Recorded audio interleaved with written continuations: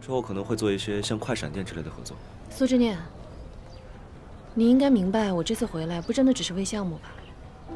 我之前跟你表白，你说你的人生规划里没有谈恋爱这一项。你刚回国多久啊？就这么高调的宣布谈恋爱？你该不会是为了防止我再追你吧？我这个人对朋友从来不撒谎。之前我说没有恋爱规划，只是因为他还没有出现。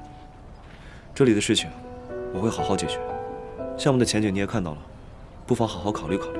我投的是华腾置地的项目，我看的是宋青春解决问题的能力。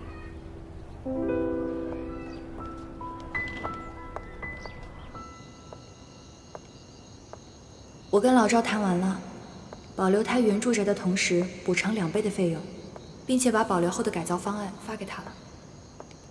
他同意了。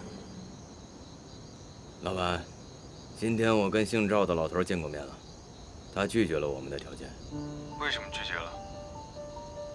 因为宋青春下午也找到了他，出的价格比我们高，这老小子认钱不认人，就答应了。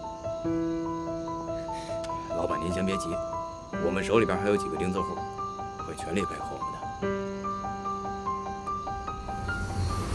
的。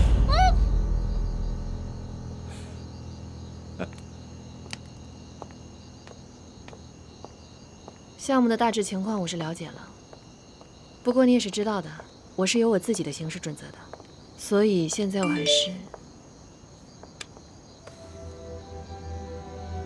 老周是被人指使的。在湖边，速来！你先回酒店吧，我还有点事儿。